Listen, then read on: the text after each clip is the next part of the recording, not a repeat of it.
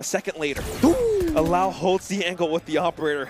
Doesn't quite connect the shot. A good wide swing allows him to find a little bit more space. He throws in the flashpoint. RBK peaks. Aziz finds a frag too. Estrella enters back though. A quick double. And we're onto a one-on-one. Antidote drops down and the noise has been heard. Estrella shuts